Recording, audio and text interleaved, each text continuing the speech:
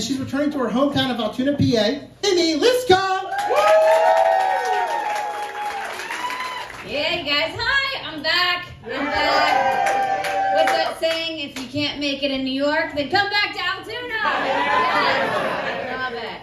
I love it. Um, so I'm celebrating today because I am actually 84 days sober today. So thank you. Being pregnant sucks. okay.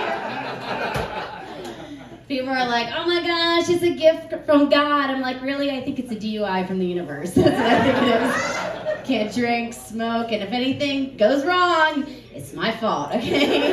Go to jail. I don't know. I don't know. Um, so, you guys, um, I'm 40 years old, and you know that saying, thank you. Yeah, I'm 40 years old, and you know that saying where it's like, uh, that, um, that I don't regret anything in my life because it brings me where I'm at now. I regret everything now. Okay, this is, okay, this is it. All right, I love it. So I'm 40 years old, and I don't have a plan either. You know, it's like you would think I don't. You would think I would have a plan by 40, but I don't. You know, it's just you know it by the tone of how your your family talks to you. So my dad, when he said congratulations, he was like, you know you can't drink. I'm like, um, is that a challenge or are you, are you asking that, are you trying to be my sponsor right now? I don't know what's the, also, my sister's like, surprise, you're not going to have a baby shower. We're just going to put a GoFundMe together for you. Great. It's for people in hard times and Amy's baby shower. Yeah, I love it. I don't know. Um, so um, I actually didn't want to have a kid until later in my life. So I wanted, I, I for the longest time, didn't want to have a kid until I was 45. And I'm 40 now, and I knew this about my myself a long time ago. So I actually, a while ago, froze my eggs. Yeah.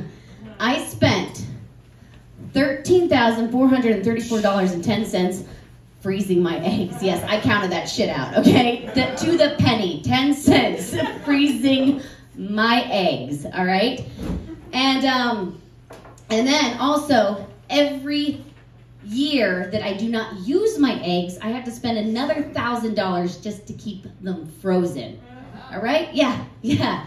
You guys, this is a generic oopsie baby. It's a geriatric generic baby. What the fuck, okay? you guys don't understand. I spent $13,434.10 freezing my eggs, plus an extra $1,000 every every year from then on. Already, and I'm supposed to have this kid at 45, and it's early, okay? This kid owes me about $20,000 already, okay? He's like, I'm gonna want college. I'm like, no, that's for the young 32 year old egg, okay? You get nothing. Let me give you your walker, okay? Oh my gosh. People always kept saying to me, they're like, oh, why do you want to have kids so late in life? Because I'm doing it for the right reason, so they can take care of me, okay? That's, I can't, I can't, can't, I don't know. Um, so, yeah. Yeah, that's that's a that's a thing going on. I'm pregnant now. Um, I, um, oh, uh, side note, you guys, has anyone ever gotten so far into debt that all of a sudden money doesn't mean anything to them anymore? I feel like it's just gonna get worse. You know when it's going bad too. You do because you start doing crazy things. You know, just seeing how far you can actually push the limits. He was like, I this happened to me. I went into a, a bagel shop and they said this bagel with cream cheese was ten dollars and forty five cents. Yeah, it was. I was like, well, you know what I want? Give everyone in this room a bagel and cream cheese, okay? Because that's what you do when you don't have any money. You just like see how far it can go until I don't know you get arrested. But it's just like you're like, come on, discover. like who needs Vegas when your credit card may or may not go through? you always know how bad your financial problems are by how obscure your like credit cards are. You're like, um, please take the Blockbuster rewards credit card. Yes, just try it. Just try it. I I love when my credit card does go through because it's like, oh my gosh, I didn't even pay for it. It's a gift, right? I don't know.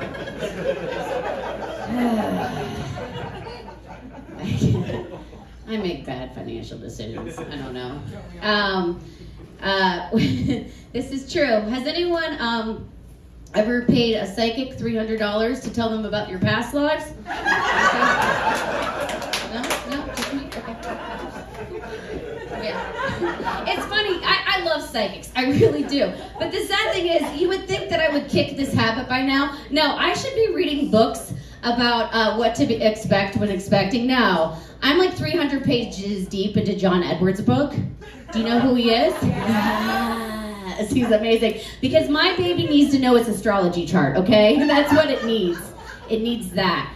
No, I, I paid this guy $300 for um, for me to to figure out my past life. If you don't know what your past life is, you shouldn't because it happened before this life, okay? That's it. I paid someone $300 to be like, "You were a chicken before." I'm like, "Really? A chicken? Oh, awesome. That was all fascinating." But this is where it gets weird, okay? At the, at the end of my reading, he was talking to me and he was like, You know what I think you would be into that is really interesting, that I think would be good for you is ayahuasca. and at the time, I didn't know what it was, but as he's describing it to me, I'm like, Whoa, whoa, wait, wait. You want me to do drugs? If you don't know what ayahuasca is, it's a huge hallucinant. I don't know, but it's. A, then he looks at me like I have three heads. And he's like, Didn't you just pay $300 for this reading? I'm just trying to tell you what you can financially do better for your money, okay? All right. You guys, I'm from this hometown. My parents don't know this story. I don't know if they're mad at me that I spent $300 for this psychic or proud that I said no to drugs, okay? I don't know. but we'll see. We'll see. I don't know. I, um, uh, so um, I did a lot of stuff during the pandemic. Um, the one thing I did learn about the pandemic is if I have time, I will waste it. Anyone? Uh, we'll get into all.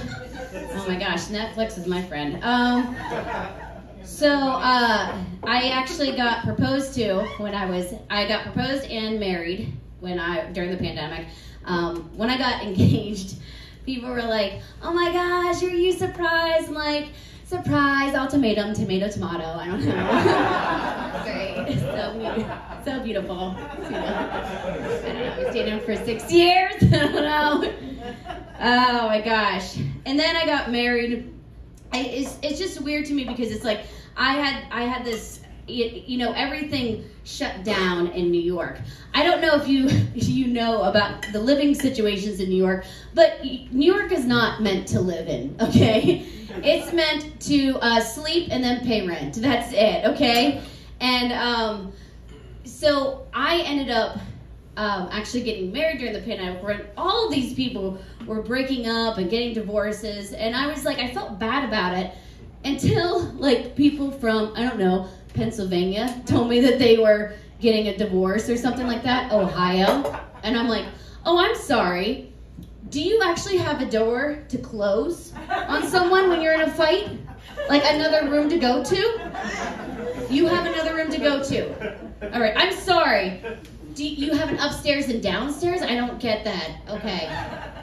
Do you know what, do you guys know what our back door is? Because you guys all have back doors, right? Front doors and back doors.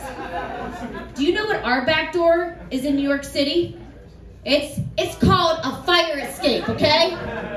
And sometimes if the landlord is not up to code, then you just have a decision to make. That's it. That is it. That's how you get out of the situation. I don't know. It's. Uh, but it's weird. I feel like it made me stronger. You know, like now I feel like if anyone comes to me to like have their, you know, want my approval for their marriage or whatever, it's re- like they're like, oh, that's grandma. She survived the pandemic. She has her own oxygen tank with her because she doesn't trust the government's air. It's like, you know, I feel like in order for me to give a blessing to any of my children, for them to get married, I'm like, have you lived a year in a box with someone? He's not your true love. if you can't survive the box. so I don't know. So I got um, I got uh, married. Um, oh, uh, just a side note: if you spend about like eight to six months trying to slim down for your wedding, don't get married in Iowa City. Okay? Um, they treat like high fructose corn syrup like vitamin D there. I don't know. One meal, 16 pounds. I don't know. I don't know. Um, but um, I had a, a pretty good wedding. The, the the main, the weirdest thing that I got from from the wedding was um, was um, uh, everyone kept asking me how was the night after the wedding. Like after the wedding, I was like, I've been dating the same guy for six years. Is there something I don't know? You know, I can't. Like the night after the wedding, and then it made me start thinking. I was like, oh my gosh, is this why everyone gets married? Because the sex gets amazing? Is this why? It's like this old guy from the corner. It's like, oh, you're having relationship problems? You just need to marry the girl. I don't know. So honestly, you guys, it's true. After my wedding, I grew a tail. It's there, I swear. No, I like in the ass now. No, just I'm joking. I'm joking. Mom, dad. Joking. My husband, like, are you sure that's just a joke? I'm like, yeah. no. Um, I'm. No, I'm. I seriously, I'm glad that I'm not dating anymore. Okay, because it's just like I even still hear some of my girlfriends that are dating. Like my girlfriend's like, I don't know where I stand with this guy. I've been dating him for a year. He takes me out all the time, but I don't think he's committed to me. And I'm like, whoa, whoa, whoa, whoa, whoa. You are dating someone with way too much money. you need to date a poor person. I'm sorry if he takes you out for one dinner, he's ready to propose. Okay. That's what you. They're like, well, when was the first date? You know, when I walked you to your car and I introduced myself. I don't know, but um, no. This my other girlfriend was like, um, um, she actually caught her her boyfriend cheating on her. Actually, walked in on the on the act happening. Yeah, not good, not good, not good, not good. Devastated her. So she got she got him back. You know what she did? She found the girl that that he cheated on her with, like was in the act also. She found that girl, then decided to sleep with the girl. Yeah. And then timed it perfectly because women are awesome for him to walk in on them. Having yeah, yeah. Yeah, I was like, I don't think that was a punishment. like, oh, I'm sorry. You're trying to rob me right now? Do you just like want all the money? Let me just throw it at you. Let me just like make it easy for you. Someone's been stealing my lunch from work. Let me just put a three course meal together for you. I don't know. I don't get it. I don't know.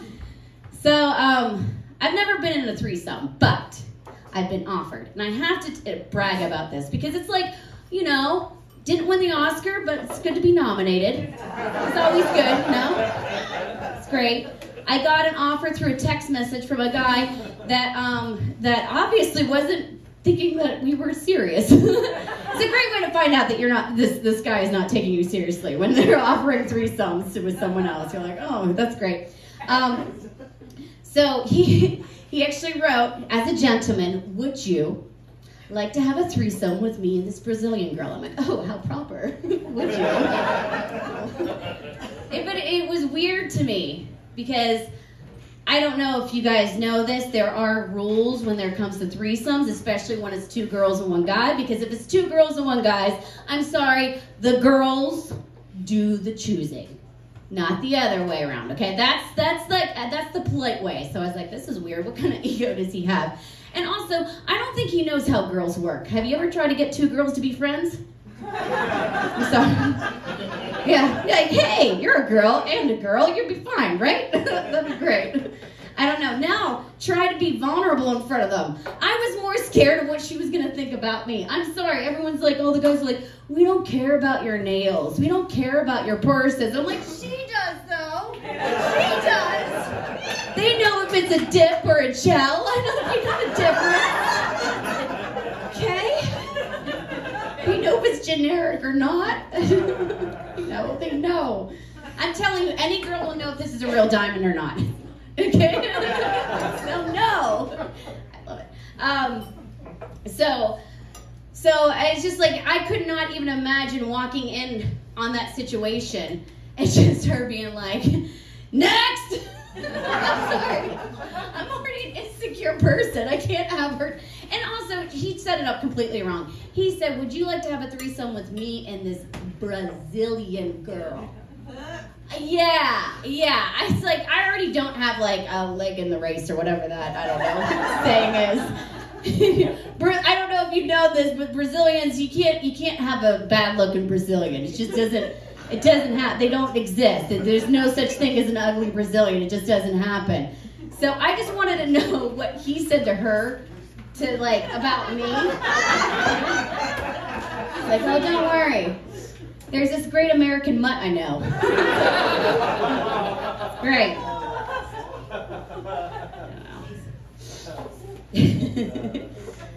Anyways. Uh, I was kind of, so um, um, when I was growing up, uh, I'm only doing this joke because my mom's in the room. Um, I love it. So, uh, this is true. When I was going through puberty, my one boob was growing faster than the other one. Okay, this is was literally flat chested and had had fully developed the other way around. And also, this is a great note. If anyone has kids, you ever want to make someone feel insecure about themselves and not have sex early, uh, just say there's something wrong with them. Like, hey, you're going to that party. Is your ear just supposed to be that close to your eye? no? Okay, okay. All right, go, go, go have fun. Just go. Yeah, no, no, no. I don't know what I saw. I don't know. I don't know. Okay? just, all right. Because I totally, it just made me an honest woman. So, anyways, I was just, I had no idea what to do. I kept this a secret for the longest time. And um, finally, I broke and I was like, I found a solution. And I, my solution was tell my mother. That was my great idea. So then I get my mother in the room, and her reaction was like, oh, what the hell's wrong with you? okay? And you know what she does next? It was brilliant. She brings my dad in. Why not shove the penis in here? Come on, get the penis in. I was like, oh, great, great. All right, this is wonderful. So now, now we have people examining, looking at my chest. I'm like, oh, this is horrible. No, but then my mom did the great, best thing ever because I don't know if you know her. She's what any good Italian mom would do. She got opinions of 200 of her neighbors. Okay? This is lovely, lovely. okay.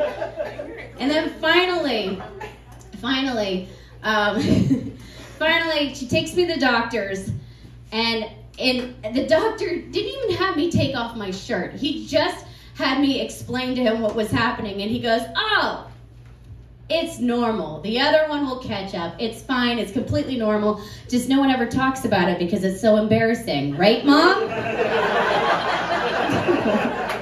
love it. Love it, love it, I'm to leave you guys with this. Um, well, the one thing I do, I, I did get out of this pandemic and stuff, is that I feel like um, people take things more seriously now. Like, do you remember when, um, you know, they don't take things for granted. They take things more seriously. Like, I, I got really annoyed. This happened a while ago when people were like saying, saying things like um, they were calling themselves brave for like not wearing makeup. Do you remember this? And they were posting things on like, you know, Twitter, like, I did it! you know? And it was always mostly hot women doing this. I don't know if you know this, but when a hot woman takes off her makeup, she's still hot. Okay, that's what categorizes them in hot. But um, the whole thing is, is like, like you know, I, I just couldn't believe they were being called brave. You know, you know what brave is? Putting that picture of you without your makeup and your first nose. Okay, that's what's brave. Okay. Sorry. I didn't want to do this. It just, it just like gets to me. But um there was one time where like sorry i can't i don't want to i'm this um i was running late for work and i had to get on the subway with no makeup on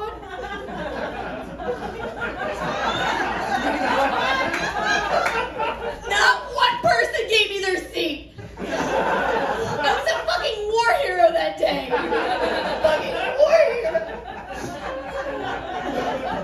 sorry, sorry. It's just like, it's just the thing is too is like I don't know what to say to like a young girl uh, who's having an image complex because it happens all the time. Like, what am I supposed to say to them? Like, oh, you see this picture of Beyonce? It's all airbrushed. Um, no, it's not. um, actually, she has a ton of makeup on. Um, no, um, she doesn't. Um, you're gonna have to learn to love yourself. Okay? I don't know. All right, you guys. Thank you so much.